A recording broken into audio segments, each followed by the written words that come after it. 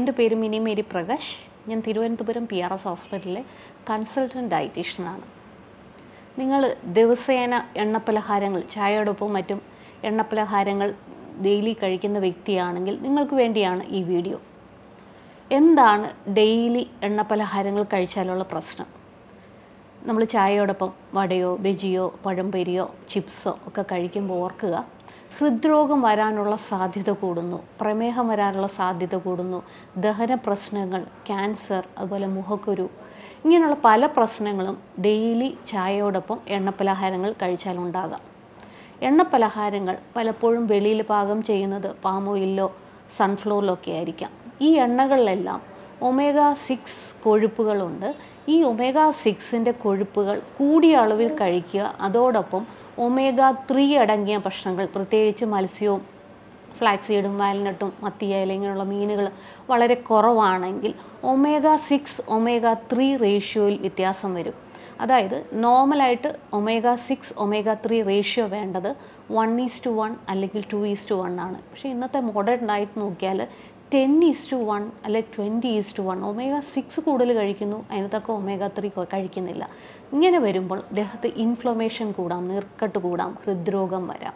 കാരണം ഡെയിലി അതുപോലെ തന്നെ പുറമേ നിന്ന് നമ്മൾ എണ്ണയിൽ വറുത്ത സാധനങ്ങൾ കഴിക്കുമ്പോൾ പലപ്പോഴും ഒരു പാമോയിലായിരിക്കാം ചിലപ്പോൾ സൺഫ്ലവറിലായിരിക്കാം ഈ എണ്ണ കൂടുതൽ സമയം ചൂടാകുമ്പോൾ അതിനകത്ത് ട്രാൻസ് ഫാറ്റ് എന്ന് പറഞ്ഞ് ഒരു കൊഴുപ്പുണ്ടാകുന്നു ഈ കൊഴുപ്പ് ഹൃദയാരോഗ്യത്തിന് നല്ലതല്ല. ട്രാൻസ് ഫാറ്റ് രക്തക്കുഴലുകൾ പ്ലാക്ക് ഫോർമേഷൻ കൂടാനും പ്ലാക്ക് അടിഞ്ഞുകൂടി രക്തക്കുഴൽ അടവ് വരാനും ഇടയാകും. പിന്നെ ഈ ട്രാൻസ് ഫാറ്റ് അടങ്ങിയ ഭക്ഷണം.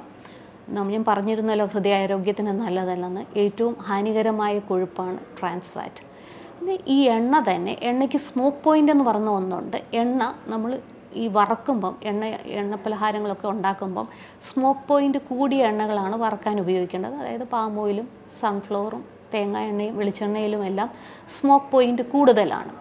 ഈ സ്മോക്ക് പോയിന്റ് വെളിച്ചെണ്ണയിൽ ഈ സ്മോക്ക് പോയിന്റ് കൂടുതലായതുകൊണ്ട് വെളിച്ചെണ്ണ വറക്കാൻ പറ്റിയ ഏറ്റവും നല്ല എണ്ണയാണ്.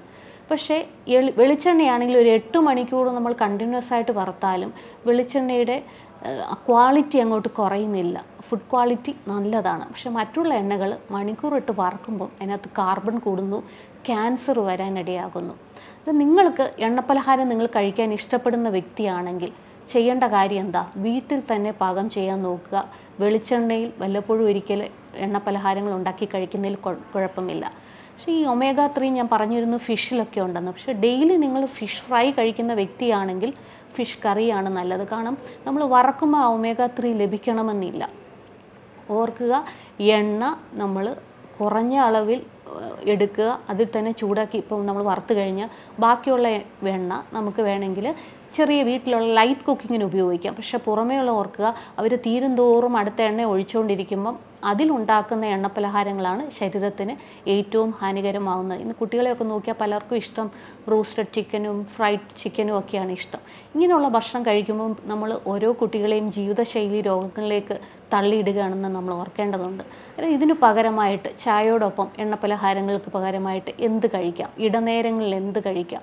ഇടനേരങ്ങളിൽ പൾ സ്നാക്സ് എന്തെങ്കിലും പഴങ്ങൾ അല്ലെങ്കിൽ കടലക്കറി ഉണ്ടാക്കുന്ന കടല വെള്ളക്കടല ഇതൊക്കെ വേവിച്ചിട്ട് അതോടൊപ്പം പച്ചക്കറിയൊക്കെ ചേർത്ത് പ്രത്യേകിച്ച് ഈ നമ്മൾ ഈ ബീച്ച് സൈഡിലൊക്കെ പോകുമ്പം കണ്ടിട്ടില്ലേ ചാട്ട് പോലെ ചെയ്യുന്ന അതുപോലെ ഇടനേരങ്ങളിൽ കഴിക്കുന്നത് നല്ലതാണ്. നിങ്ങൾ ജോലി സ്ഥലങ്ങളിൽ നിങ്ങൾ ഈ എണ്ണ ഇടനേരത്ത് എണ്ണപ്പലഹാരങ്ങളാണ് കഴിക്കുന്നതെങ്കിൽ പകരം പഴങ്ങൾ കഴിക്കാൻ നോക്കുക. നാല് മണിക്ക് ചായയോടൊപ്പം ഏത്തപ്പഴം പുഴുങ്ങിയത് നല്ലതാണ് അട നല്ലതാണ് കൊഴുക്കട്ട നല്ലതാണ്. ഇങ്ങനെയുള്ള സാധനങ്ങൾ കഴിക്കാനായിട്ട് നോക്കുക. ഇപ്രകാരം നമ്മൾ ചെയ്തു കഴിഞ്ഞാൽ നമുക്ക് ഒരളവ് വരെ ജീവിതശൈലി രോഗങ്ങളെ മാറ്റി നിർത്താൻ സാധിക്കും. എണ്ണപ്പലഹാരങ്ങളുടെ ദിവസേനയുള്ള ഉപയോഗം എന്തുകൊണ്ടും നല്ലതല്ല.